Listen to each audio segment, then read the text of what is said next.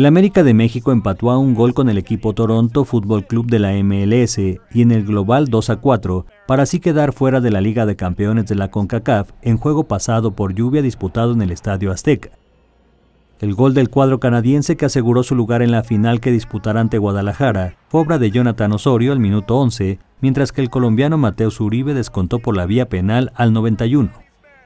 El técnico del América, Miguel Herrera, dijo sentirse frustrado pero tranquilo, tras fracasar en la Liga de Campeones de la CONCACAF, duelo en el que lamentó la falta de certeza para aprovechar las ocasiones de oportunidad que generaron. frustrado por no conseguir el, objetivo, pero, pero tranquilo el equipo intentó por todos lados. Hoy desafortunadamente el gol no cayó. Y ahora pensando en la liga, no hay que pensar que sí en actitud en determinación y en entrega y en todo lo que hicimos, no, nada.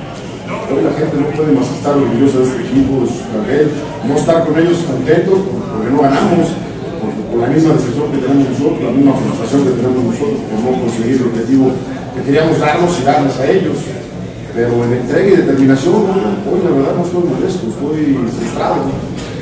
Frustrado por esa, esa impotencia de decir, pues, el equipo hizo lo que tenía que hacer, pero no caí en los golpes corrió, metió, luchó, tuvo, vergüenza determinación.